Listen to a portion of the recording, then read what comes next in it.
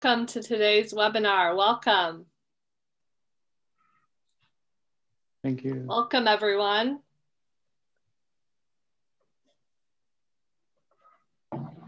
Welcome. We'll get started in just a couple of minutes. Welcome.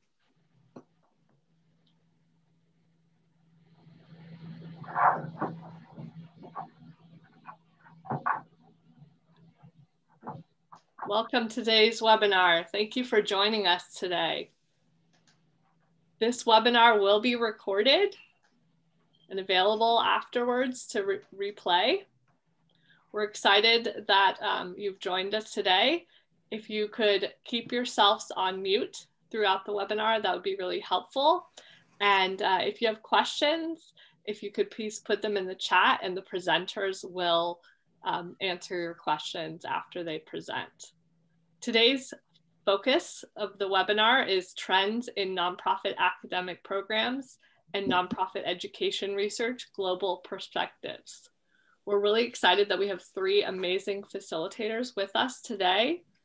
Roseanne Mirabella at Seton Hall University, Marco Tavanti, University of San Francisco, and John Casey, Baruch College, City University of New York. This webinar talks about how the field of nonprofit and philanthropic studies education continues to grow globally. And we'll discuss recent research about nonprofit education from a variety of contexts across the world. So let's get started. And uh, first up is Dr. Mirabella. Thanks, Heather. Welcome, everyone.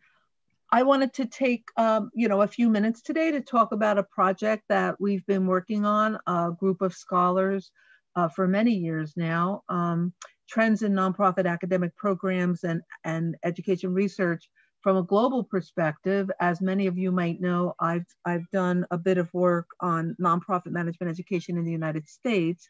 This is the companion piece, if you would, to look at it globally um, the world is very big and um, there's a lot of different dimensions to it. So I'm excited to share what we've learned thus far. Next slide, please. The, we're calling this the global census of NGO education, and we have certain goals that we're trying to, to meet. So, so the, I, I, began this project um, in 2002 after I um, pretty much figured out a lot of where the programs were in the United States, I said to myself, well, let me take a look and see what's going on around the world. And I quickly came to realize that that's really difficult for um, one person to try to figure out how to do. In fact, it's pretty difficult for, you know, 20, 25 people to try to figure out how to do because the programs are very different in the different regions. Obviously, the curricular options are different, the histories are different. And so we're looking at education programs for those who have leadership roles in NGOs as managers or social movement leaders or development agency leaders, and I'll talk about that in, in a minute. Um, an electronic resource was what was launched in 2011, but unlike the NPO database where you can all go out and see all the programs in the United States, this, this is still pretty sloppy. So I consider it a work in progress and um, it's not available yet to the public, if you would, but I do share it with researchers. Next slide, please.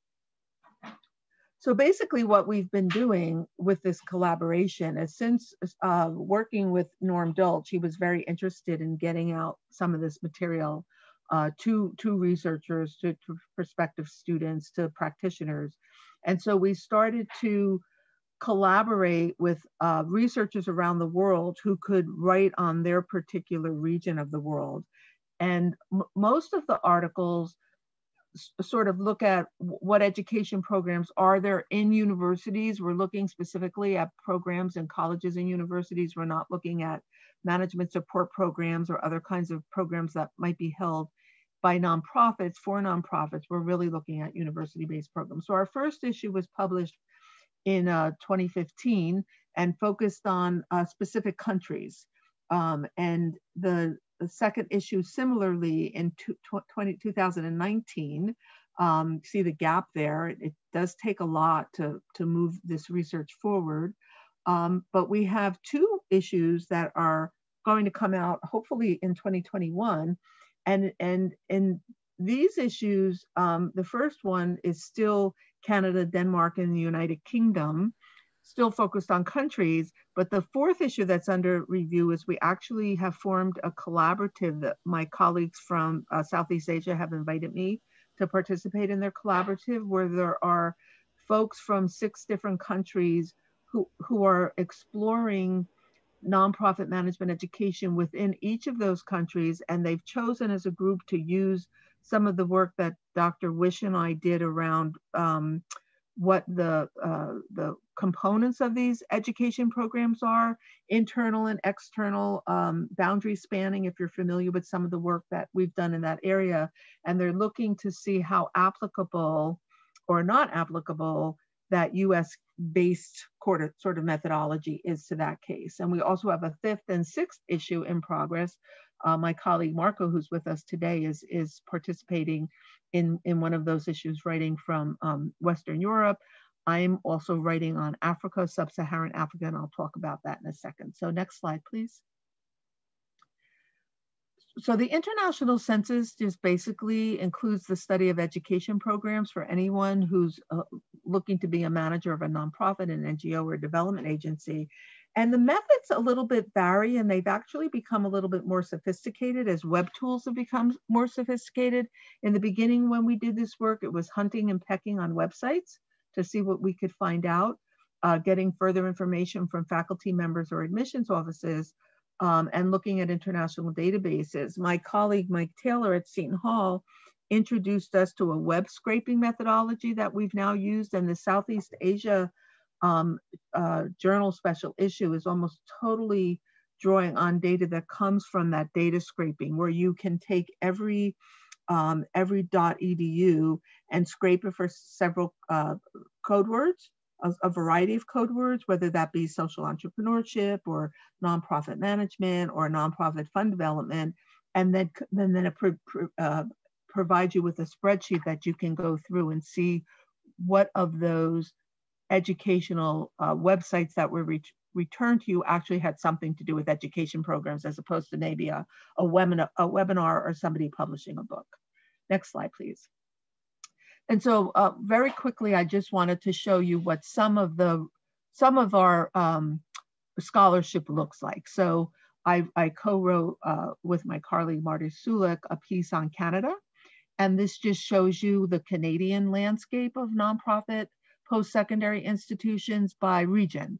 And so you can see uh, what percentage, you know, obviously Ontario and Quebec have the most um, nonprofit programs in Canada.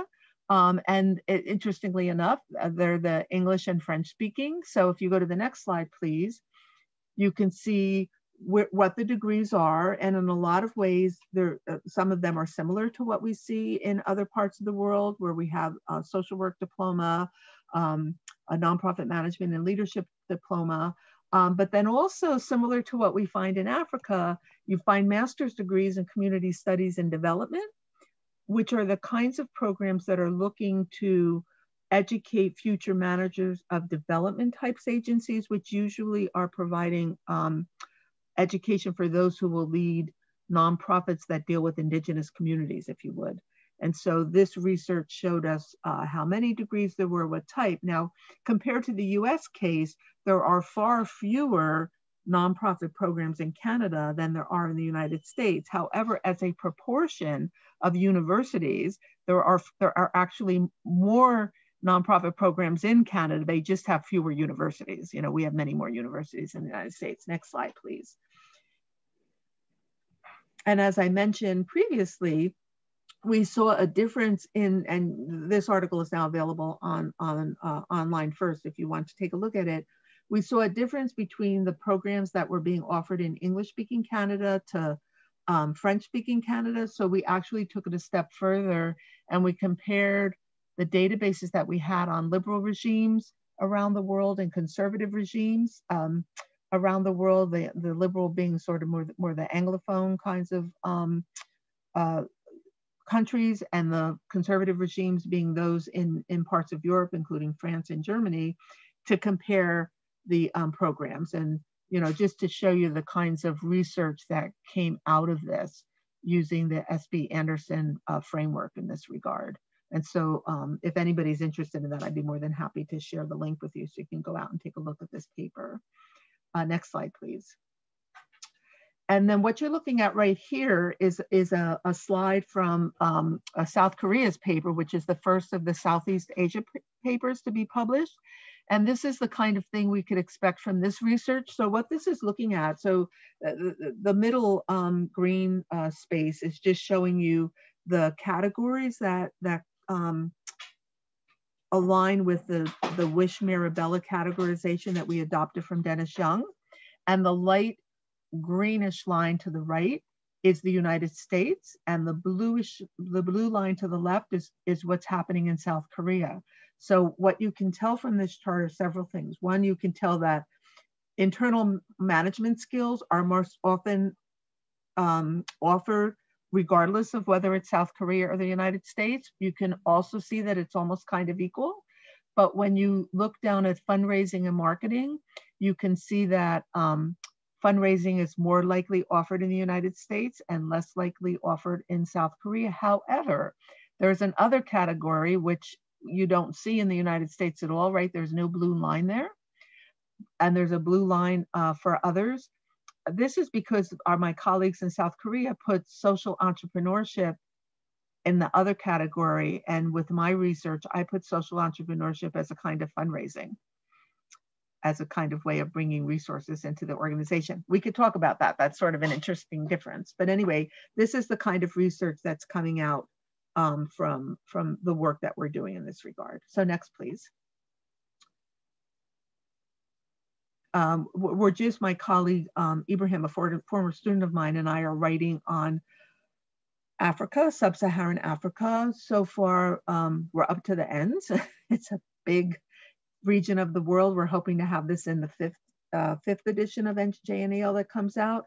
But what we're finding here and what I found in a previous iteration of this is that a lot of the a lot of the teaching around nonprofit management for future NGO or nonprofit leaders is cast within a development framework. And Heather and I are actually writing a piece on this right now for another uh, for another volume where we're exploring why uh, why development studies is so strong in some of the uh, global South universities. Um, next slide, please. And we're taking a critical perspective on this and we're looking at critical development studies. And uh, to just briefly summarize so that we can uh, have time for, for uh, our other presenters to present, the, the, the major issue here is that um, a lot of the education that's taking place in sub-Saharan Africa, we feel, is part and parcel of a continuation of imperialism, a continuation of colonialism, if you would, and a continuation of education. I guess the question would be education to serve who? And what we're finding is that education is to serve global capital, if you would, and to, to have the, the universities in Africa um, prepare students to be part of the global economy. And much of what we're seeing uh, with the paper that Heather and I are working on right now, along with Ibrahim, is that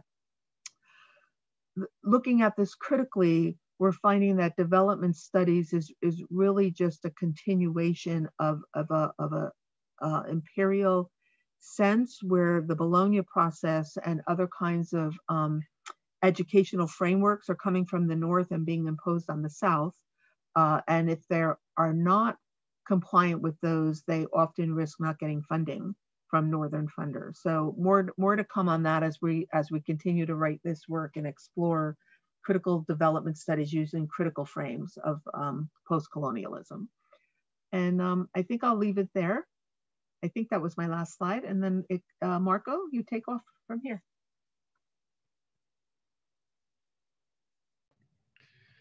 Thank you, Dr. Roseanne Mirabella, for this uh, wonderful introduction for the work you have done for so many years in this uh, panoramic overview of the very diverse uh, landscape that exists uh, in uh, international development. Um, I'm uh, offering here an overview that is, I would say, probably emanating more from my uh, experience as a practitioner in the field in the global arena where I worked in particular in East Africa, Latin America, and Southeast Asia, beside Europe, my, my, my home place, that uh, I've seen uh, some difference and some interesting shifts that happen, you know, within uh, particularly an American perspective that has uh, appeared to have dominated the field of nonprofit management education.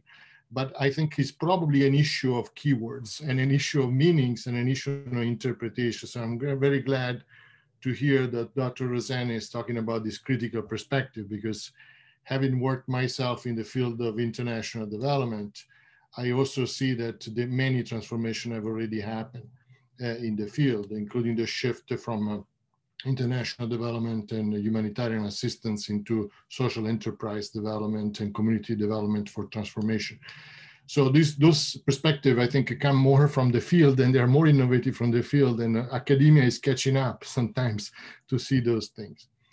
So um, uh, next, thank you. Uh, so the, the, what I would like to do, is sorry about the writing that here got messed up, but is uh, I, I, just want to start with the fact that uh, I, since I'm here in San Francisco and uh, it's considered the birthplace of the United Nations, we should also recognize what our ancestors have done uh, in the past with the idea of including NGOs or, or at, at that time was really nonprofit organizations, which was a dream of FDR at that time with this idea of uh, uh, creating a new world, right?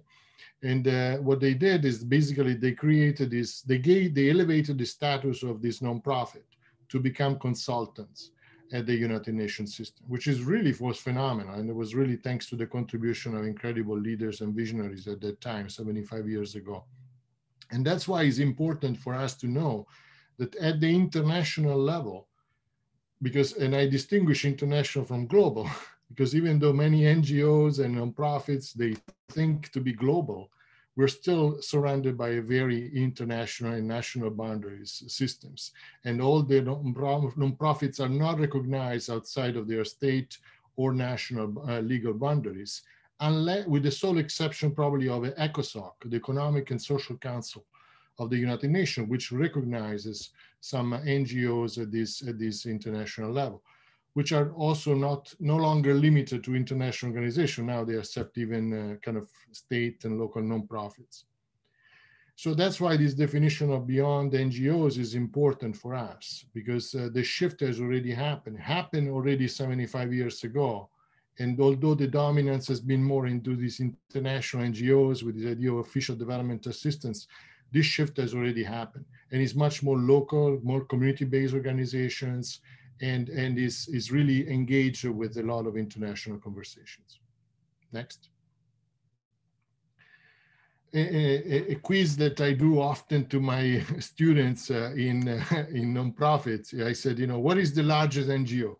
You know, they often say, well, the Bill and Melinda Gates, you know, obviously because of the money, the, the endowment that they do. And unlike other foundations, they actually spend their money, thank God but you know obviously you want to refer to others like brac is considered the larger ngo in terms of number of employees and is an organization that many people don't know. Is in bangladesh you know similar to the grameen bank. They do a lot of social enterprises. They're really revolutionary in their way that they approach uh, the, the well-being of people in many aspects.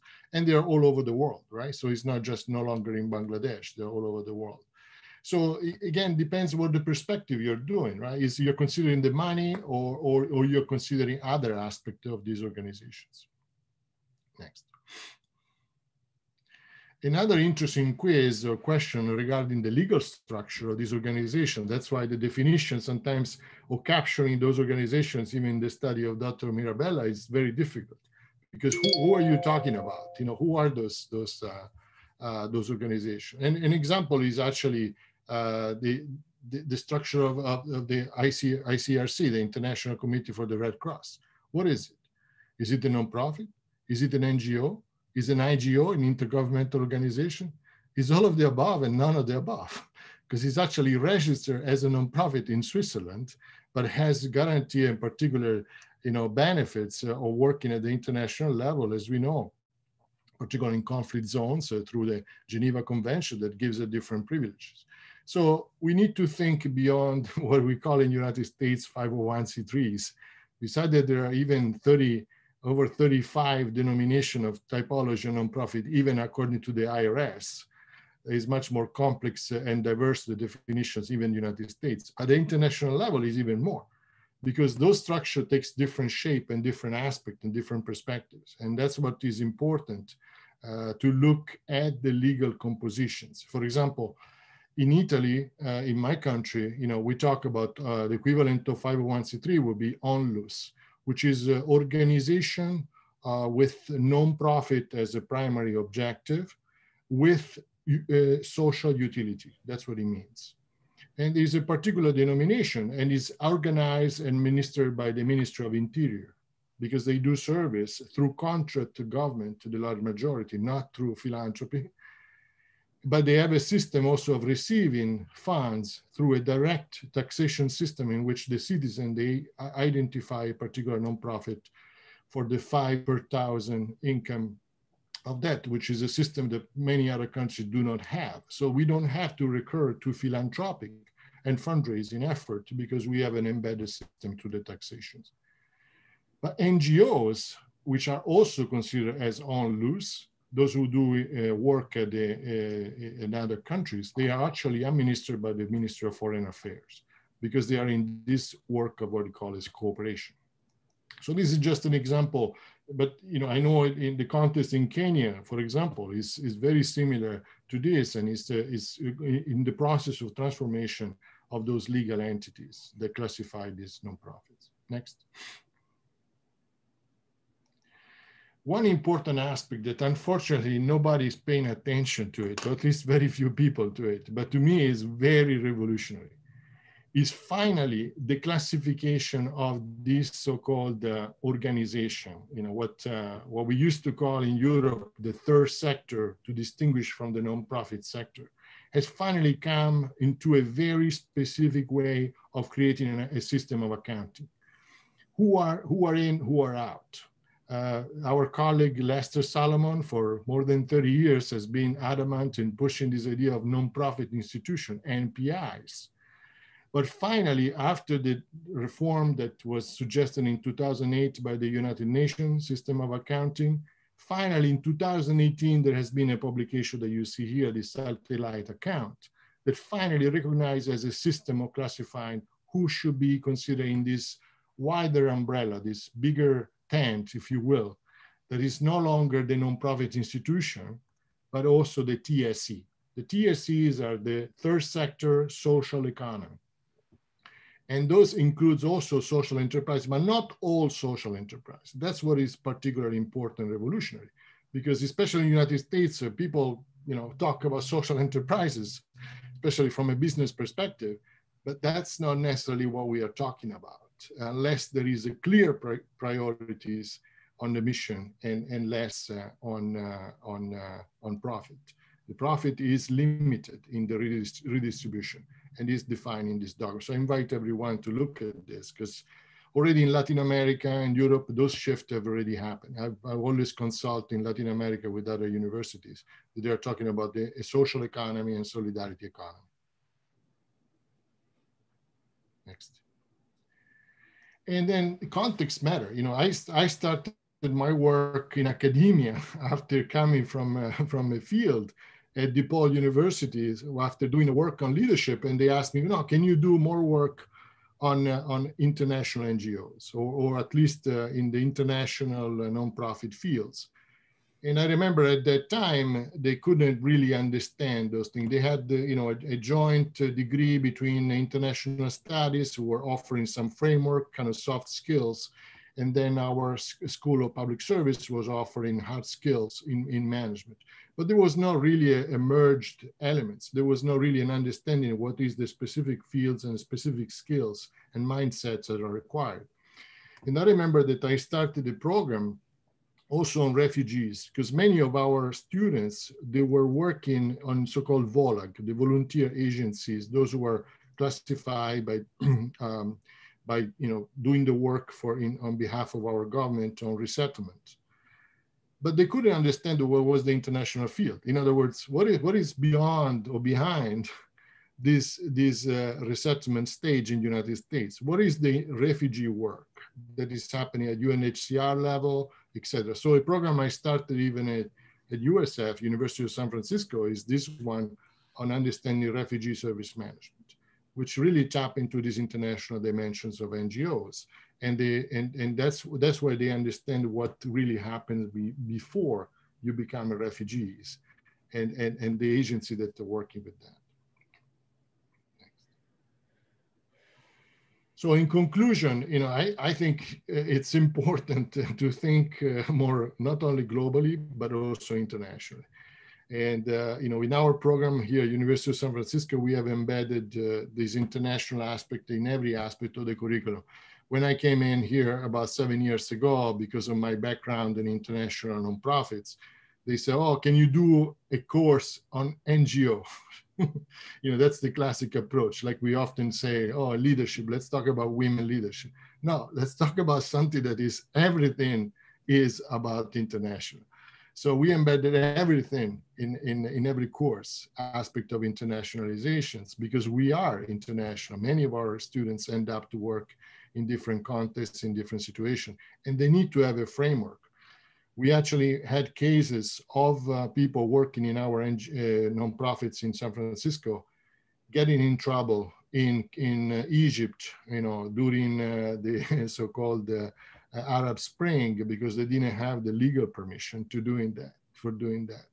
We had other experiences of uh, people operating at the international level but not understanding the limitations of your own um, different international experience, etc. So we work also on the Sustainable Development Goals as a frameworks that uh, unites across, uh, um, you know, uh, sectors. And, uh, and that's, I think it's, it's important for us as educators to think about the future, which is much more international and much more global than what we tend to think in our local communities that are often already globalized. Thank you.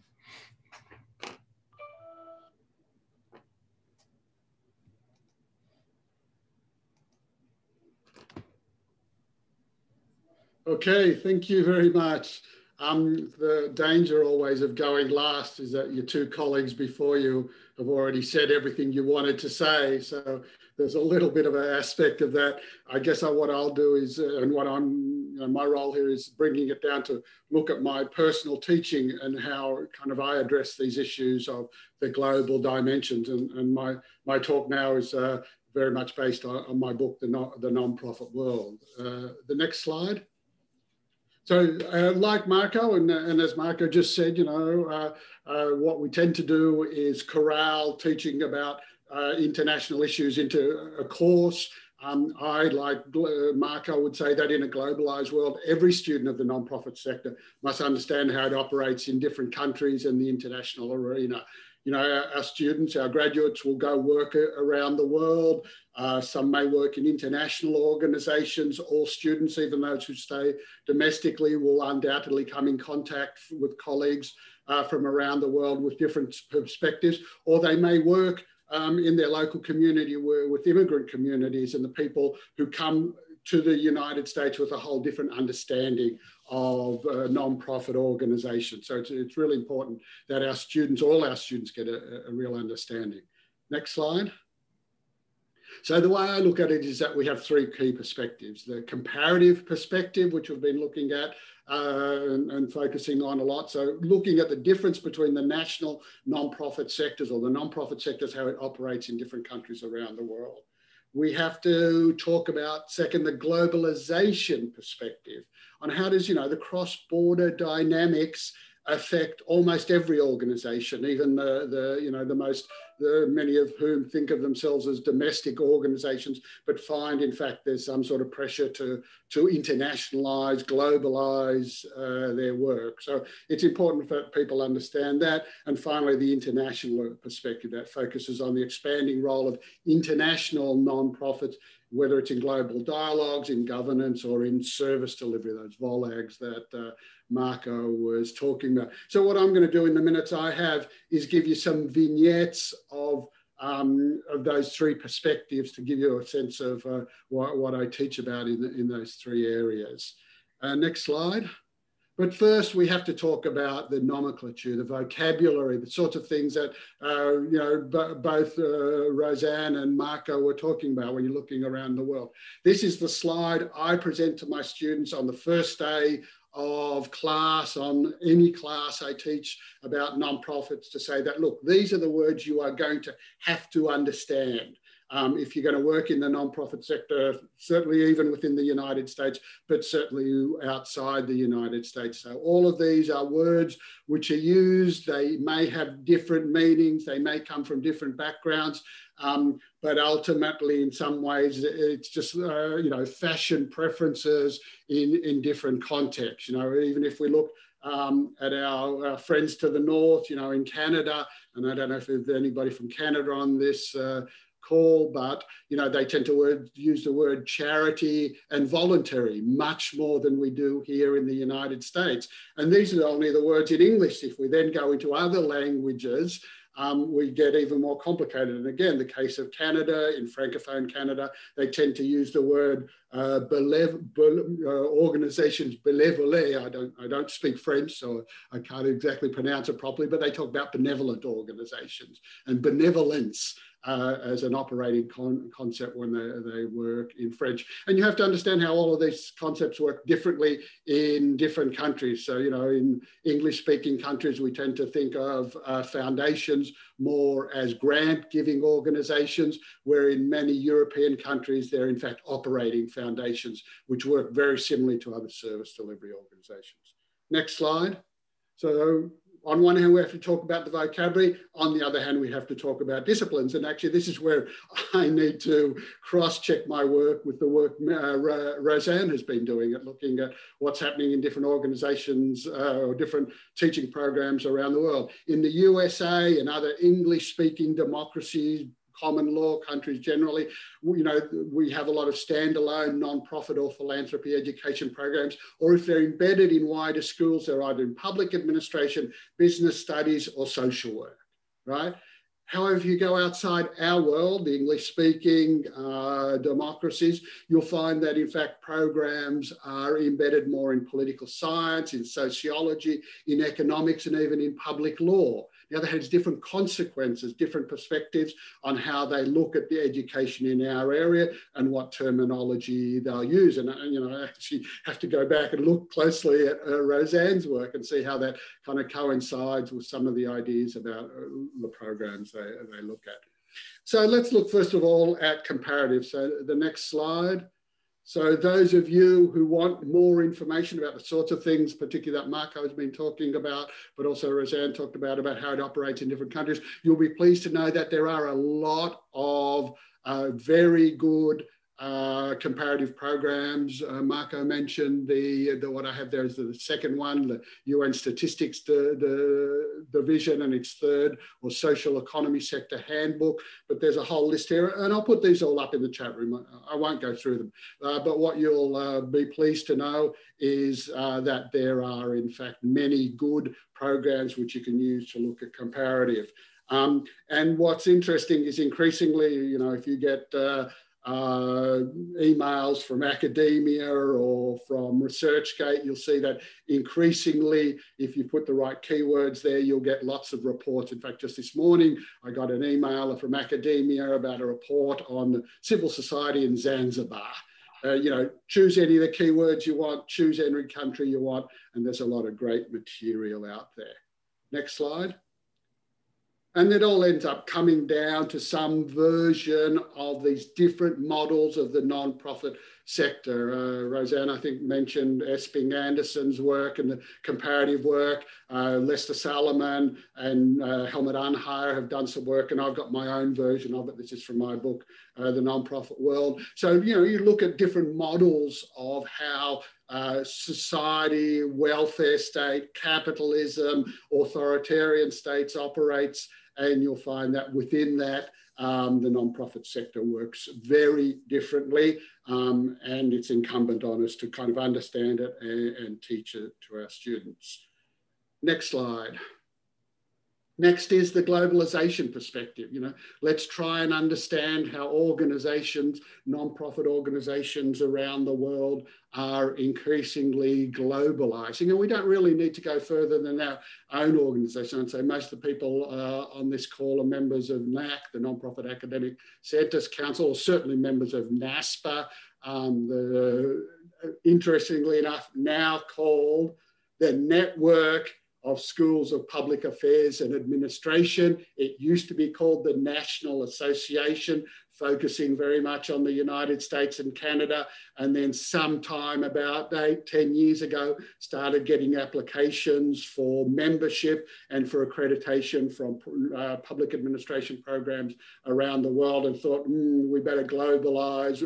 We'll, we'll change our name from national association to network, put in the new CODA, the global standard in public affairs education, um, and move that way. And NACC, the Nonprofit Academic Centres Council, is also receiving increasing number of inquiries about membership, about participation um, from around the world. In fact, what was it last year? My memory's going on these things.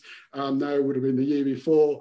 Um, NACC held its first ever conference outside the United States um, in, in London uh, as a sign of its uh, globalization. And that's happening with so many organizations and it's a dynamic that we all need to understand about how it affects our organization and how it affects in the, uh, non-profit organizations in, in the United States as they're kind of, they look to work uh, across borders and with people from other borders, even if it's only to enter an international coalition of organizations, an international network of organizations that work in similar fields. What's the dialogue going to be between those sorts of organizations?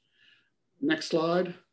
Then, of course, now the international perspective. So we should all know about the huge rise in the number of international NGOs. This is the figure from the uh, Union of International Associations, their uh, census of INGOs. They only work with the most prominent quote unquote organizations and you know their their list uh, what about 2010 was up to about 30,000 I don't know how many of you were uh, familiar with the bridge project which attempted to assign a unique identifier to every nonprofit in the world. They'd got up to 3 million nonprofit organizations before, unfortunately and sadly, the project collapsed in uh, August of last year. Uh, they could no longer find funding, they could no longer support, so they closed the project down. But if you look up bridge.org, you'll see their, their web page is up there, but uh, they're no longer. So, you know, the number of international nonprofit organizations, we can uh, confidently estimate is somewhere between uh, 30,000 and 3 million. So that's a pretty confident estimate of the, the, the number of uh, international non-government organizations. Uh, next slide. But the focus tends to be when we talk about NGOs, international nonprofits, the focus tends to be very much on aid, development, human rights, environmental organizations. So, you know, uh, you know whether it's Greenpeace, Amnesty International, um, those sorts of organizations. But we have to remember there are thousands, hundreds of thousands of international nonprofit organizations. And the probably the one that has the most impact on the everyday life of every person in the world is the International Standard Organization. It's called the International Organization for Standards. It uses ISO as its name. That's not exactly an acronym. It's more, it's a short name so that, that people easily identify it. Everybody at this seminar is sitting in a room surrounded by dozens of objects built to ISO standards, right? Um, this is the standard setting organization uh, for the, the whole world. And many of you probably teach the ISO 9000 series of managerial uh, and leadership standards for organizations. So it's an independent, non-government organization made up of members of the national standards bodies of 165 countries. So, you know, in my teaching, I emphasize this a lot. I, you know, I emphasize things like the International Quilters Association, I emphasize the International Window Film Association, a professional association of those people who put up plastic films on windows uh, around the world. And certainly, you know, different sports, cultural organizations, and, and the, the role they play. So very much emphasizing those sorts of organizations. Next slide. And finally, I want to do, you know, give a shout out to NACC, the Nonprofit Academic Centres Council. You know, they have curricular guidelines for graduate programs. Um, these two uh, guidelines, the, the, these first two guidelines focus, you know, a, a, lot on international and global and transnational issues, and then sprinkled throughout the rest of the guidelines, there's a lot of work. You know, NACC is going through a process of updating the guidelines. Marco and I and other people are working with them to, to look at what can be even strengthened more um, in the international global perspective, but there's already a lot of material there. Uh, next slide, final slide. So the references to this are one, my book, uh, uh, the, the non-profit world looking at issues around the world, but also this talk and the written version of this talk is uh, in fact the draft of a uh, chapter I'm, I'm, putting together for Will Brown and Matt Hale's a new handbook on preparing leaders for of nonprofit organizations. So there's a link there. I don't know if you can pick it up. Certainly anybody who e emails me, I'm quite happy to uh, send you a draft and i would appreciate any feedback on that. That's all I had to say. Thank you very much. Uh, we just had three excellent pr presentations, nonprofit education and global perspectives. Thank you so much for your time. We now have about 20 minutes left uh, for open discussion and Q&A. So um, I'll open it up to everyone to be able to, to have that discussion. Does anyone have any questions? Comments? Yes, Marco. I, I, actually do have a comment. First of all, I'm very grateful for my colleagues uh, uh, John and Roseanne for giving this perspective that is both very, you know, internationally driven and, and global. Particularly with the aspect that uh, came out from Roseanne's presentation, I think is very important. It has to do with this critical perspective, you know, because uh, uh we, we, we, often, uh, you know, I remember when I came at DePaul University, when I told you that they asked me to develop this program, this international public service program, which by the way, is the first not, not MPA, MPP program on nonprofits international uh, accredited by NASPAA. You know, they don't, they don't show off too much, but was accredited in 2007, which is also significant. But the problem is that when I came in, they had a course and the course was uh, focused on northern NGOs and southern NGOs this denomination, even though we have kind of, and then they call it like third world development, stuff like this. I mean, those words are so loaded into this kind of a colonial or neo-colonial approach that uh, we need to study it, first of all, because unfortunately there are new dynamics of international development, which is not on the nonprofit side, but is on the FDI side, foreign direct investment side of from China and other big players in Africa in particular, that we need to know about those lessons, but in a critical way. And I think what you, you guys are doing, I think is very important and for all of us to retake this critical approach because unfortunately those dynamics still exist uh, in our communities and certainly international. Yeah, thank you. Thank you for that, Marco. I I, I think that um, one of the things that that we're looking at is how the imposition and you know John raised the, the standards, the I, IOS, well, uh, ISO. We we uh, we have our standards as well, right? The the nonprofit academic center council's guidelines are standards, right?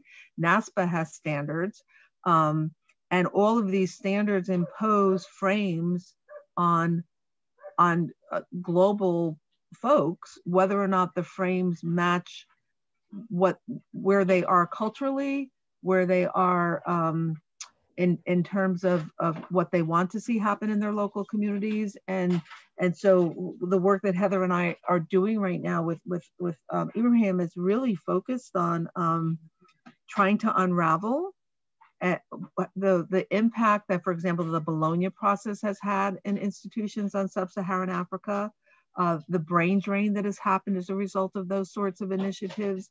Um, and again, all couched within this sort of we're, we're Northern, we know, you're Southern, you don't know.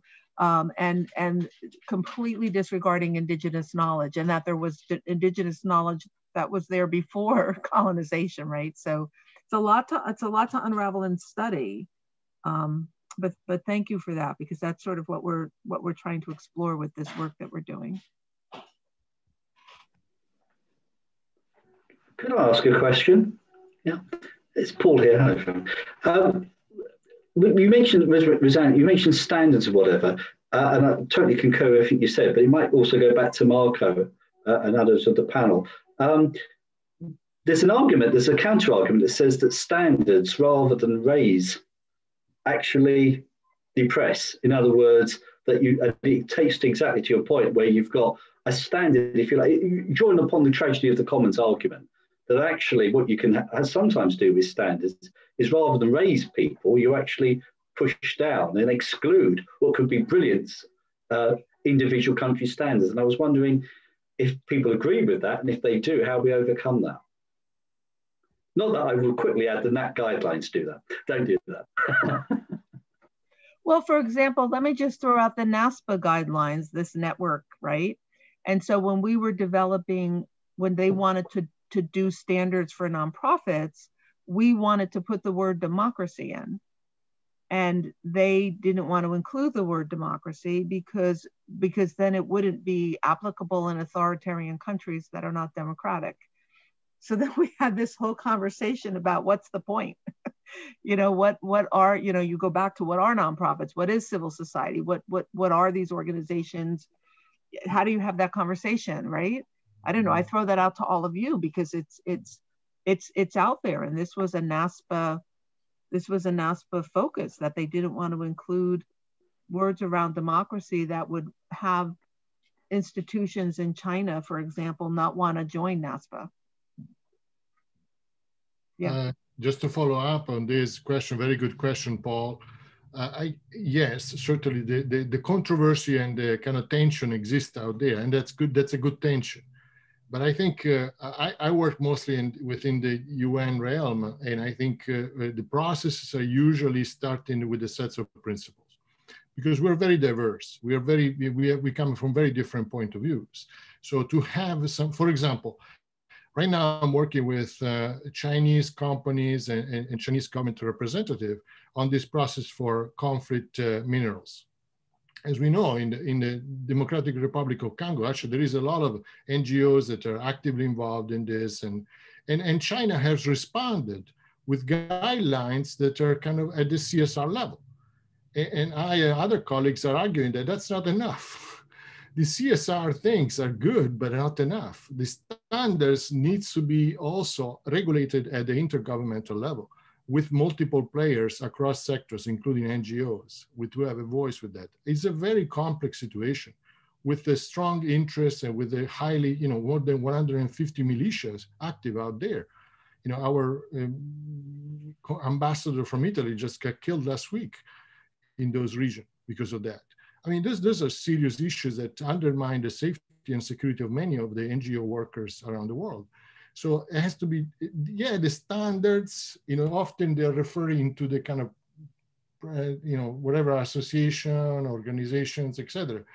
In some cases, at the international level, we need to operate more also with the intergovernmental level. That's why we say it's not just a non-profit, it's a non-governmental. And the distinction is not just casually done. It's because the government separation, the independence is very important to guarantee that uh, values that civil society represents. Related to some of these observations, I was a little surprised, uh, John, this was in your slide about where these um, programs are and what disciplines. And of course, Roseanne, this is directly tied to your work, but the US using, you know, administration and management and those kind of more technical fields. And I always like to think, well, we own, you know, the, the democracy, the advocacy um, role for nonprofits, but the rest of the world, and I was assuming, John, this was beyond just the English speaking world um, countries, but poli sci, sociology, econ, public law, you know, much more related to that advocacy role, actually.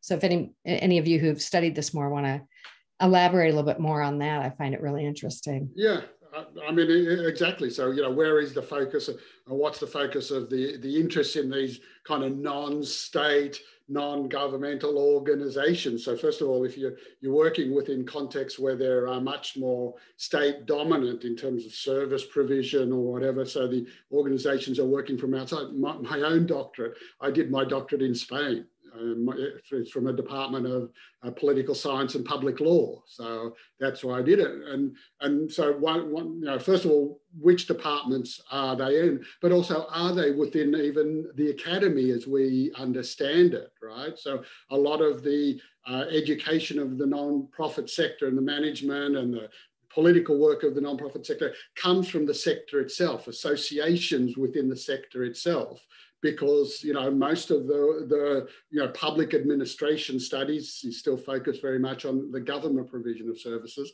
So as the non-profit sector is growing, and I'll use the example of Spain, within Spain, it's the the associations of non-profit organizations that have taken on very much the discussion, the analysis, and the education about the sector, which has not really moved that much into universities. I mean, I was one of the first person to do a doctoral thesis to do with uh, non-profit issues. In, in, fact, I was surprised uh, only a couple of years ago when somebody was talking about the history of non-profit studies um, in Spain, and the, the, they actually identified my my doctoral thesis as one of the first doctoral theses, and this is now 1999, the first doc, one of the first doctoral theses that, that focused on non-profit organisations.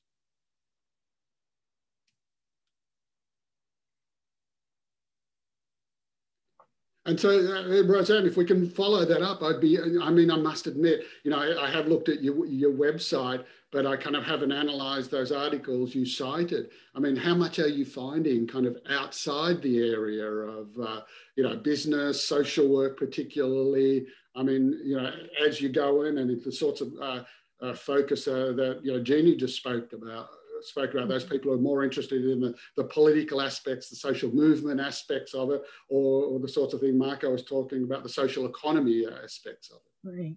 And, and, and absolutely, John. And I think that we have to be open to, to including those kinds of programs as part of us, right? Because we've, you know, I fault my own work uh, so much now because the focus on nonprofit management made us look at how are we teaching people to run organizations.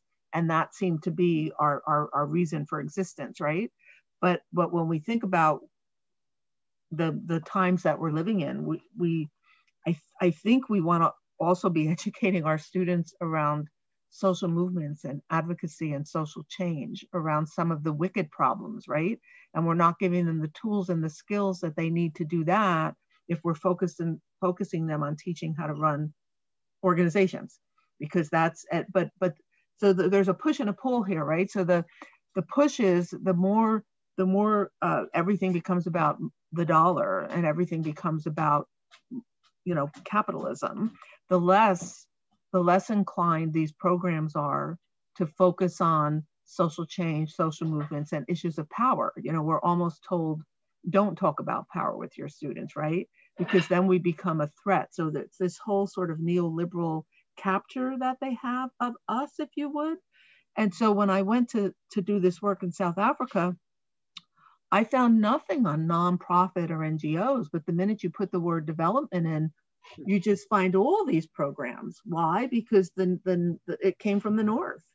It came from it came from Europe. Europe requiring, uh, in order for for them to get grants from Northern foundations in order for them to, to participate in the Bologna process. Um, uh, in order for them to have their local NGOs, they had to participate because of the Washington Consensus and the International Monetary Fund and all these other kinds of things. So once you start to use the lens of power, you're now having very different conversations, but it's also, it's also, A, it's threatening, but B, it also it also makes us look at what we do. And then the last thing I'll say on this is I fault many of our colleagues who who take what we know from Anglophone countries and go to these other parts of the world and say, here's how you teach nonprofit education. Really, what works in what works in the United States or the UK is going to work in, in Southeast Asia. I, I, I don't, I don't, I question that. I question that although if I can say one of the complications here, one of the fascinating things is of course kind of globalization and the spread of ideas comes from people moving around. So I'm always intrigued that some of the people I meet uh, who teach in this field in non-anglophone countries or around the world have studied in the United States. Sometimes right. they've you know got a master's or a doctorate from a US university, and then they go back home and in their suitcase they they have the model of what we teach, and, and in fact interpret it for their own circumstances, but still very much based in, in our model. Yeah. I think also the we also live and operate uh, in a bubble.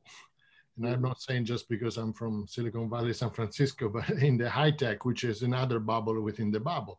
Mm-hmm. But also United States with this model of philanthropy, with the tax exempt system that we have created along these centuries or so, have created a model that we assume that that's what philanthropy is. That's what nonprofit is. And the reality of the diversity of the world, that this is a scenario that is much more complex and much more, much deeper than that and, uh, and in my work, particularly on civil society around the world, I discovered also some contradiction. That's why it's important to go back to what I was explaining before about the definitions, the legal definition, the classification.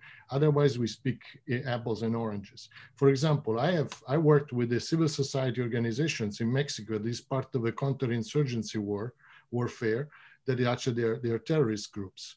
And you might remember the comment a few years ago of uh, former President Bill Clinton saying that Al Qaeda was a regional NGO, and everybody said, ah, "Don't call it NGO."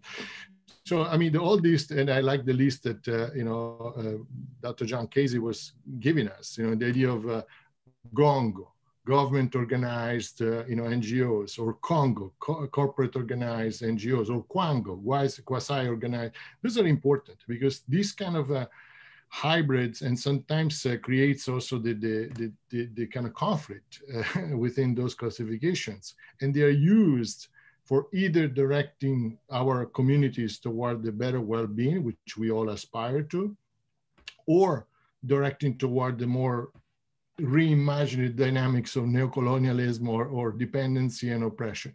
So that's why those frameworks, the soft skills frameworks are so important along the hard skill frameworks for and skills for or running organizations. And that's what NACC, NACC has been about, you know, like providing those interrelated uh, competencies for our students.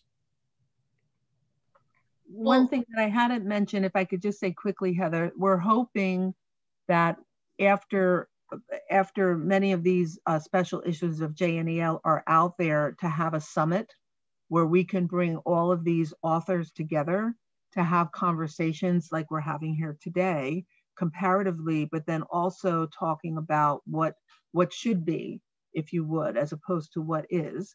Um, and so uh, be looking for that. We're hoping to do that in 2022, um, you know, to have those conversations. But I think that's important to then bring all of the all of the authors together to, to talk about what we found um, and, and how we move forward. Thank you so much uh, for the discussion today. We really appreciate the presenters and their time. And thank you for all the attendees. Uh, the next webinar will be happening on April 7th from 12 to 1 Eastern. The focus will be on curriculum planning, implementation, and program assessment. I actually will be facilitating that webinar along with Erin Nelson from the University of Memphis. So if you're interested in the topic of, of program assessment or curriculum management and development, come attend that webinar. So thank you for your time and hopefully see you next month. Thanks everyone.